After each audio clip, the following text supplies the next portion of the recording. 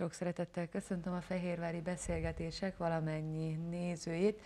Még mielőtt elkezdődött volna a műsor, itt a szignál alatt egy nagyon kedves kis versike jutott az eszembe.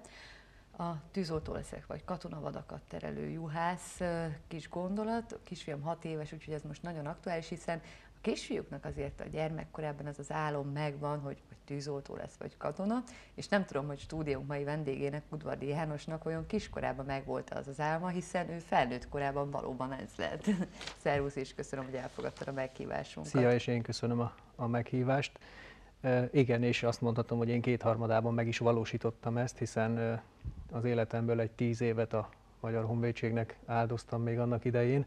Tehát én voltam katona, aztán most vagyok tűzoltó, hogy leszek-e vadakat terelő juhász, ez meg majd kiderül.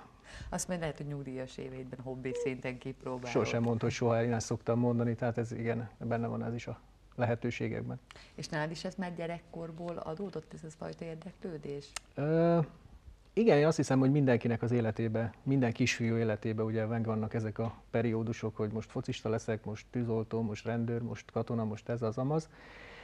Én 14 évesen gyakorlatilag a középiskolát egy katonai középiskolában kezdtem, 1986-ban, és 96-ig gyakorlatilag én a honvédség kötelékébe, tehát még egy 6-6 és fél évet eltöltöttem hivatásos katonaként a honvédségnél, és utána kerültem át a, az akkori polgári védelmi parancsnokságra, majd amikor ugye átalakult a, a szervezet, akkor, akkor lettem a katasztrófavédelem tagja, tehát egy ilyen jogutódlás történt és igen, én, én, én voltam katona, aztán, hogy juhász leszek, ez majd tényleg a jövő titka.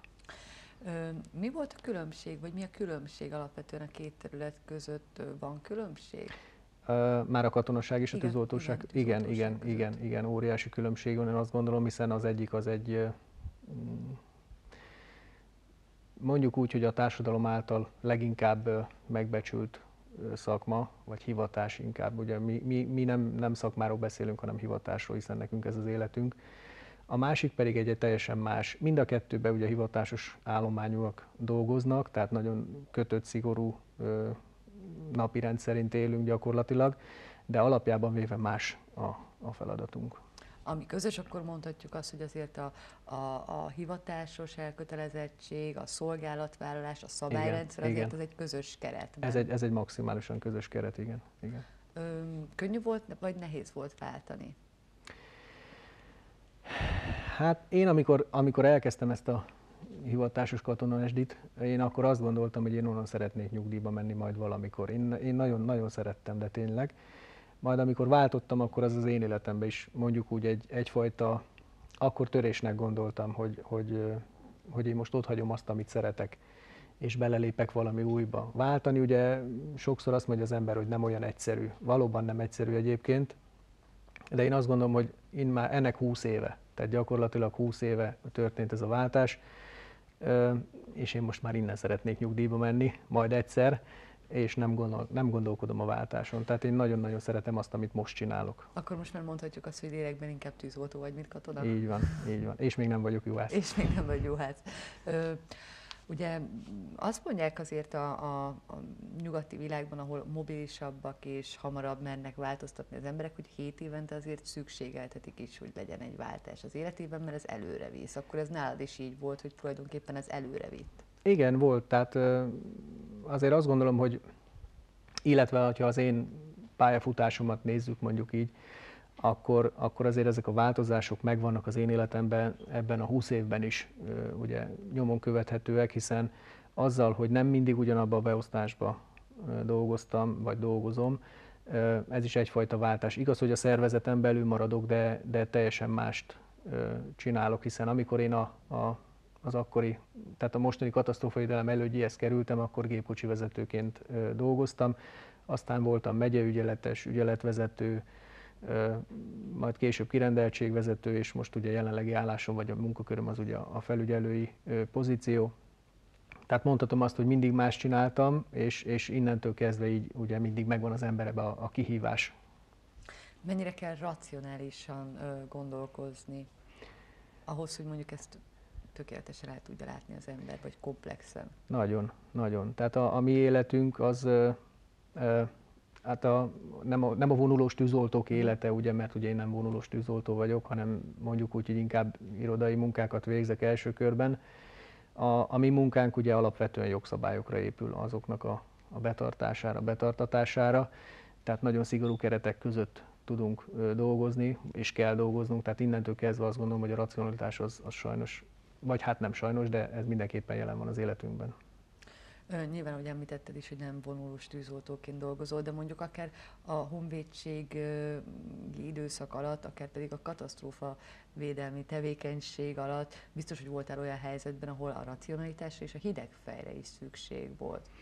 Igen, azt kell mondjam, hogy el, ettől függetlenül, hogy nem vonulós tűzoltóként, tehát nem a, a, az emberek szemében az átlag tűzoltóként dolgozom, ettől függetlenül nagyon-nagyon sok eseményhez vonulok ki, hiszen most, ha az utóbbi három hétben például a, a szóvívőnket is helyettesítem, ugye aki szabadságon van, és nagyon sok esethez kivonulok a szóvívői feladatokat ugye ellátni, és bizony minden helyszínen azt gondolom, hogy akármilyen eseményről legyen szó, a hidegfej és a racionalitás az, az, az nem, nem, nem maradhat az autóban, tehát azt, azt vinni kell magunkkal.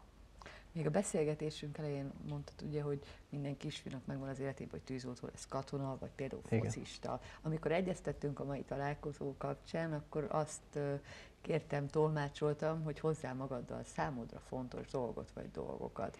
A focilabda azt hiszem, hogy Igen, én hoztam is, hoztam is kettőt, ugye egy labdát és egy csavarhúzót. A labda az, az nekem a, a az örök hobbi, az örök szerelem, hiszen én azt szoktam mondani, hogy három igazi hobbim van, a foci, a labdarúgás és a futball, mert én, én tényleg szeretem a focit, ahogy Gálvölgyi művész úr is mondta, ugye, én tényleg szeretem a focit. Nézni is, televízióban is, meccsre járni is, hiszen annak egy különleges hangulata van, illetve játszani is. Mai napig aktívan játszom kispályán is, illetve nagypályán öreg fiúkba, egy szomszédos kis településen. De akkor mondhatjuk azt, hogy most itt az EB időszak akkor igazán pörgős volt az életedben, és abszolút dobzódhattál mindenféle. Nekem az csemege volt, nekem az csemege volt, megmondom őszintén. Bár alig vártam, hogy vége legyen a döntőnek, és kialudhassam magam, ezt is hozzá kell tenni. De elvitte az időt. Hogy értekelted a csapat szereplését? Voltál átélni a szurkolói hangulatot? Ó, én, én, én nagyon-nagyon. Tehát, hogy is mondjam, nagyon szimpatikus volt a, a tehát nagyon jó érzés volt magyarnak lenni ismételten. Azzal, hogy, hogy ilyen sok idő után ugye kijutottunk az EB-re, ez egy fantasztikus dolog. Az, hogy hogy játszottak a fiúk, ez, ez megint egy fantasztikus dolog, és amit én nagyon-nagyon pozitívan élek meg és értékelek, hogy gyakorlatilag ezek a srácok ugye azért jó néhány éve ott vannak a magyar, illetve a külföldi labdarúgásban, és eddig nem mutattak semmit, most meg pedig mutattak valamit. Tehát volt valaki, aki kihozta belőlük ezt a fajta hozzáállást és mentalitást, és ez egy óriási dolog, és azt gondolom, hogy ez a, ez a, a fejlődés, illetve a, a tovább menetelnek az első igazi mérföldköve. Aztán érkezett egy csavarhúzó is. Igen, van egy csavarhúzó is. Hobbi a... ezermester vagy? Igen, igen, tehát én ilyen, ilyen barkács ember vagyok mondjuk úgy. Családi házban, kertes házban lakunk itt Székesfehérváron, és hát gyakorlatilag amit, amit lehet, azt én magam csinálom otthon. Néha fárasztó, ez igaz, néha elegem van az egészből, de, de nagyon jó érzésbe menni úgy a, a birtokomra, hogy, hogy igen, ezt is én csináltam, ezt is én csináltam, és ez egy teljesen jó, nekem legalábbis nagyon megnyugtat és kikapcsol egyébként. Mi a legbüszkébb ilyen dolog, amit elkészítettél? Hát tulajdonképpen minden. Én mindenre büszke vagyok, amit elkészítettem, mert ha nem is mindig olyan szépre sikerül, ahogy egy mesterember nekem csinálná, de úgy szoktam fogalmazni, hogy úgy, ahogy a, tehát ahogy a mesterember önmagának megcsinálja, azt én nem tudom biztosan produkálni, de hogy nekem megcsinálja, azt igen. Én valószínűleg lassabban csinálom, viszont, viszont rendkívül jó érzéssel tölt el, hogy, hogy én festettem ki ezt a lakást, én hegesztettem meg a kerítést, tehát megcsináltam a kapubejárót, járdát építettem, tehát ez mind-mind az én kezem munkája, és gyakorlatilag, és, és nekem ez, ez, ez egy olyan teljesen jó érzés. És amit említettél, hogy, hogy levezet és pihentet igen, és kikapcsol. Igen. Azért a, a honvédség is egy olyan hivatás szerintem, illetve a katasztrófavédelmi terület is, ahol mondjuk az embernek nagyon sokat toppon pörögni kell szellemileg. Fontos is, hogy legyen egy ilyen, ilyen kvázi hobbi.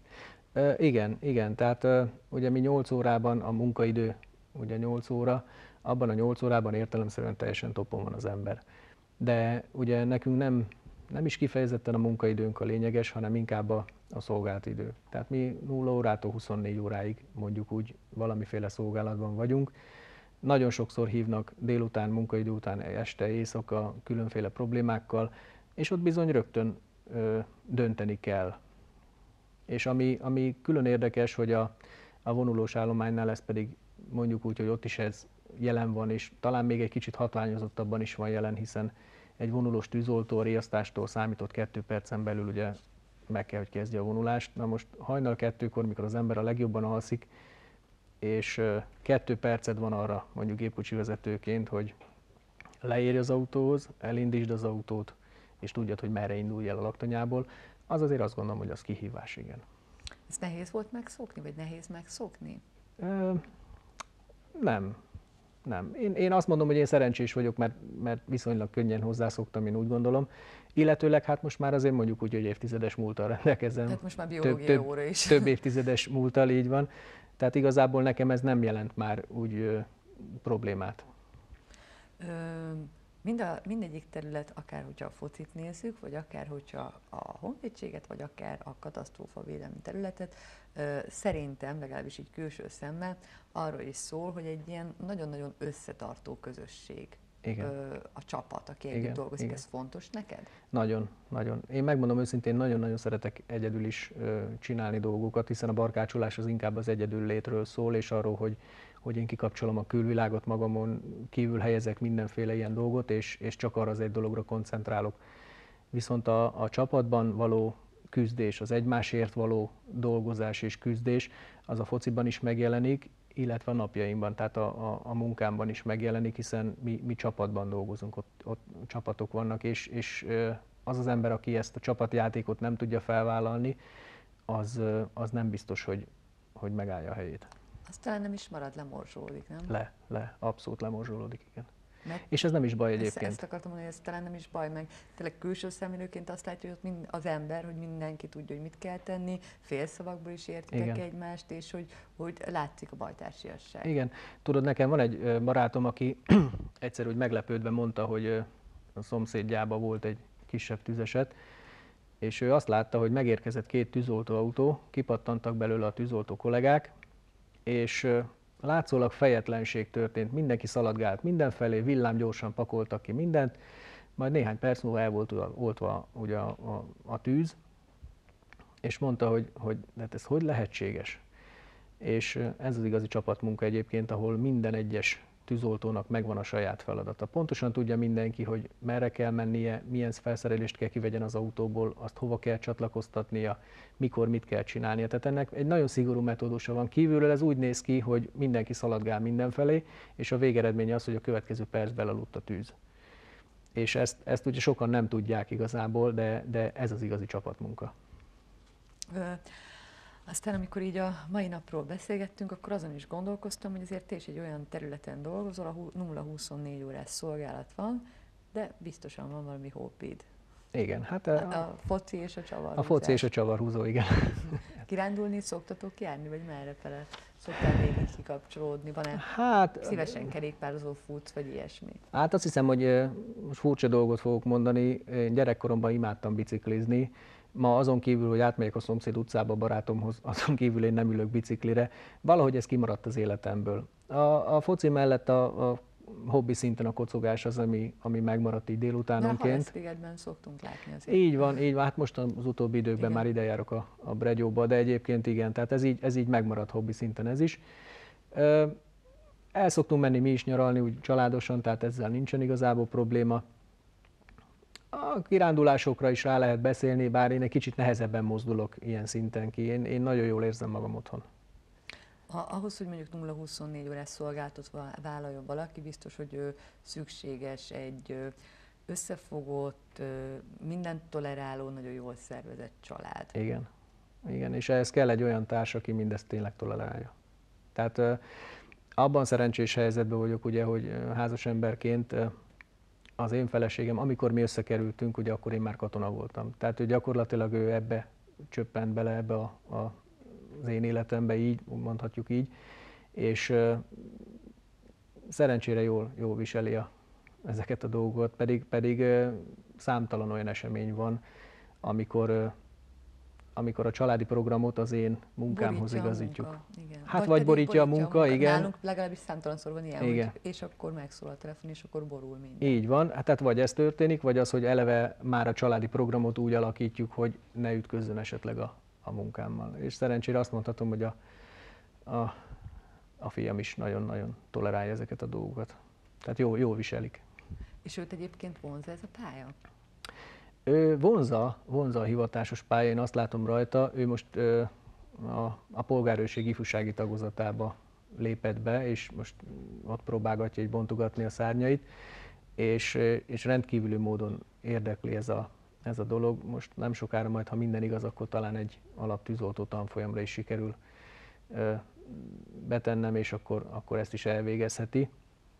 Igen, igen, azt mondhatom, hogy ér, ér, érdekli a dolog, és talán egy kicsit büszke vagy, is. Vagy, vagy Én soha nem irányítottam, hogyha erre gondolsz. Soha nem, mert én azt gondolom, hogy a gyereknek legyen meg egyfajta saját gondolatvilága, és próbálja meg saját magát megvalósítani. Ő önmagától, azt látom, hogy önmagától érdekli ez a, ez a fajta mm, munka vagy, vagy hivatás. Akkor most ilyen tesztidőszak van, mondhatjuk ezt. Igen, igen, és ennek megmondom őszintén nagyon örülök. Tehát, tehát am- amellett, hogy, hogy őt tényleg nem kellett irányítani sem erre, és azzal, hogy tényleg érdeklődik, ennek, nekem ez egy, ez egy rendkívül jó, jó érzés. És akkor majd az idő meg eldönti, hogy, hogy végül Hát is majd az idő tűzoltó eldönti. lesz, vagy katona, Vagy juhász. vagy terelő. Vagy juhász. Juhász, igen. Igen. Hogyha így nézed az elmúlt ö, éveket, amit ugye most már arról szól a beszélgetésünk egy ideje, hogy milyen meghatározó ö, is ez a te életedben, akkor, akkor volt olyan nagyon-nagyon emlékezetes pillanat, ami, ami azóta is veled van, amióta ezt a pályát választottad? Hát volt több is most igazából így hirtelen. Hát nagyon sokat emlegetjük ugye ezt a, az ominózus 2013-as tavaszi telet, ami, ami nekem egy nagyon meghatározó élmény volt, hiszen ott, ott 14-én, március 14-én ugye egy tömeges balesettel indult gyakorlatilag a, a, a tavaszi tél, hogy mondjuk így. És összeköltöztünk így Igaz. gyakorlatilag mindenki. Igen, igen, tehát egy nagy család lettünk, ö, de meghatározó élmény volt számomra a Rákóczi úti óvodában talált bomba, amikor ugye tízezres nagyságrendbe kellett gyakorlatilag Fehérvár egy bizonyos részét ugye kiüríteni, és ezt, ezt kellett végrehajtani. Aztán nagyon sok ilyesmi van még, nem nagyon szoktam ezeken gondolkodni így utólag, megmondom őszintén, hogy most mi a meghatározó részemre, vagy mi nem. De, de persze nyilván az ember soha nem felejti ezeket a dolgokat. És nyilván a nyugdíj után is, ami még nagyon messze van. A, igen, egyre messzebb úgy egyre tűnik. messzebb van, igen, de nyilván tehát addig is szeretnéd ezt a pályát, hogy ezt említetted. Igen, én azt, azt hiszem, hogy vagyok olyan speciális helyzetben már, ugye most már több évtizedes tapasztalattal a hátam mögött is, hogy talán megállom a helyemet, úgy gondolom. Remélhetőleg, hogy ezt a vezetőim is így értékelik. Illetve hát azért olyan speciális helyzetben vagyunk, hogy annak idején a középiskolában ugye én autószerelőként végeztem. Egészen pontosan, ugye mivel katonai iskola volt, gép- és harcjárműtechnikusként végeztem. Hát volna kihívás, hogyha én autószerelő lennék, na, mondjuk meg őszintén. Tehát azóta én nem gyakorlom ezt a szakmát.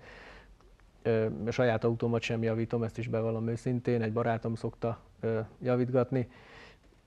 Nem tudom, tehát biztos vagyok benne, hogy az, abban a szakmában én nem állnám meg a helyemet. Mindenki jobban járt azzal, Lehet, hogy akkor te itt lehet, tevékenykedsz lehet, most. igen, A valószínűleg. lakosság, a biztonság és mindenki. Reméljük, igen, reméljük, és a rossz autók is mindenképpen. Én nagyon szépen köszönöm, hogy elfogadtad a meghívásunkat, és egy kicsit engedtél betekinteni az életedbe, és megtudhatták a nézők, hogy ki is az az Udvardi János. Én köszönöm a meghívást. Köszönöm, hogy itt voltál. Köszönöm szépen. Nézőinknek pedig megköszönöm a figyelmüket, Fehérvári beszélgetésekkel, természetesen holnap is várjuk Önöket itt a Fehérvár Televízióban. Viszontlátásra!